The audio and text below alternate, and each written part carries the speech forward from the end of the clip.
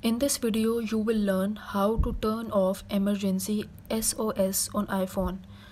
The process is really simple. For this, you have to open settings on your iPhone. So tap on your settings and open them. After opening your settings, here you can see various applications. You have to look for emergency SOS. Here it is. Tap on it and here you can see the auto call option is turned on which means that if you rapidly click the sleep wake button five times to quickly call emergency services. But if you want to turn it off then tap on it and turn it off. So this was the process by which you can turn off emergency SOS on iPhone. If you find this video helpful then please like share and subscribe before leaving. Thanks